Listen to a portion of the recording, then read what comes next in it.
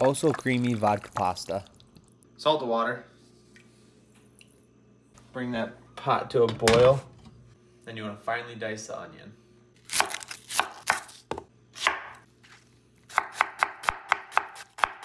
Next, we're going to finely dice up three garlic cloves. To your saucepan, add a generous amount of extra virgin olive oil. Once your water's boiling, add your pasta to the water.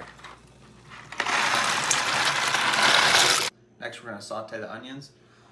Put them in a pan with that olive oil.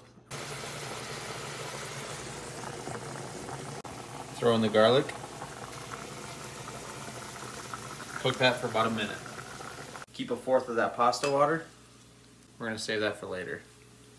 Four tablespoons of tomato paste.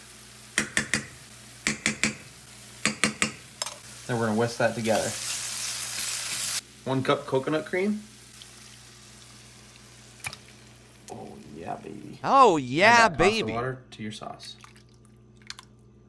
Then we're gonna go a big pinch of salt, pepper. Seas- Hot. Oh, that's so good. Mmm. This dish was inspired by Primal Gourmet. Bon appetito. I'm so excited. That's, That's, so creamy. it is creamy. I like That's it. That's delicious. Very good.